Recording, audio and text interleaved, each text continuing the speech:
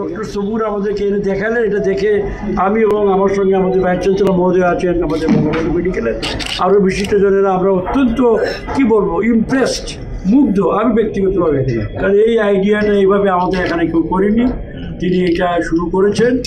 অবশ্যই আমরা আমাদের দেশে যেভাবে সর্বত্র পরিবর্তন হচ্ছে, উপরের দিকে যাচ্ছে, আমরা আশা করি এটা আরেকটা নিদর্শন। আমরা ডক্টর সবুরের আরও বেশি আমরা সাফল্য কামনা করি।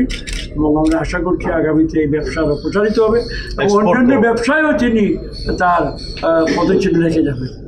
এগুলো আমার কথা। ধন্যবাদ.